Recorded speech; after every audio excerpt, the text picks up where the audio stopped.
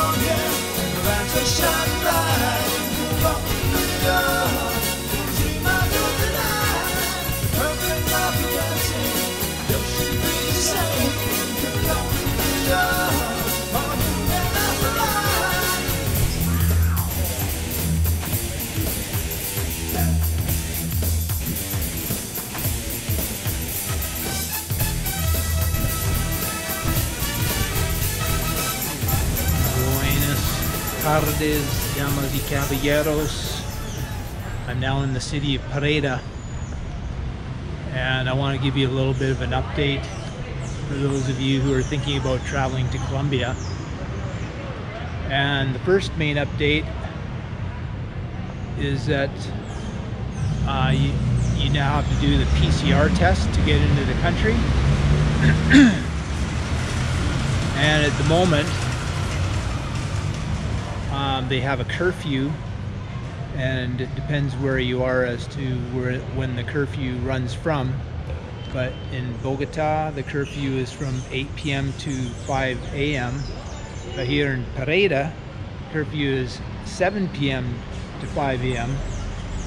And I was talking with uh, my good friend uh, Carlos today, who lives in Pereira, and he says that the basic rationale behind the curfew is that it's still holiday time here in Colombia, so they're trying to get the do this so that people can't, you know, party. Of course, the young people want to party, so that's uh, a big part of it apparently. So people can't have big groups together, and um, so anyhow, it doesn't really affect me too much because I don't usually go out after 7 or 8 p.m. anyways.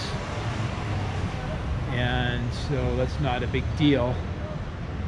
Uh, just another detail I asked my friend. So, okay, so what if I fly into, for instance, Cartagena and I don't arrive till 8, 8 p.m. and the curfew is at 7 or 8 p.m. What am I supposed to do then? He says, as long as you have a, you know, a valid explanation if you're going in a taxi from the airport to your hotel, it's not going to be a big problem. So there are people that need to be out obviously at those times, and so as long as you have a valid permit or excuse, whatever, then not a big deal. But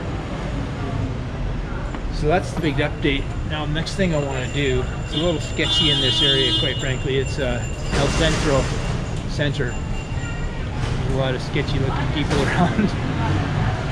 And so what I want to do next is get on record the police kind of going around. I want to do it discreetly. The police will be going around as it approaches uh, 7 o'clock. It's uh, just after 6 now. That's the main square over there. Could be a nice little sunset tonight. But I don't want to be too obvious with my GoPro because they're, again, sketchy. But anyway, when I get the chance, once the police come out and they're announcing I just want to get that on video as well. So I'm going to wander around for a bit. Oh, and the other thing I want to get on uh, video is this is the main square in Pereira.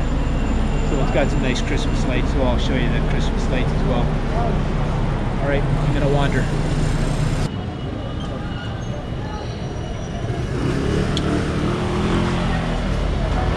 I love these little Jeep that, they make into uh, food stands. These are really cool. This is a coffee stand here. a la medianoche. Ley seca desde el viernes 8 de enero a las 7 de la noche hasta el martes 2 de enero a las 5 de la mañana. Sin cédula. Desde el viernes All right, here we go with the announcement.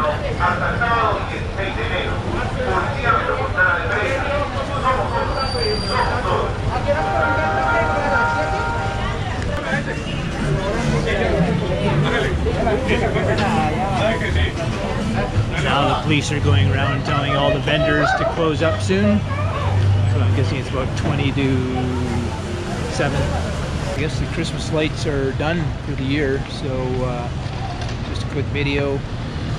And uh, I'll pick up probably tomorrow, actually no, not tomorrow, day after tomorrow when I go to Finlandia. So till next time, hope you enjoyed this quick update. Hasta los tacos.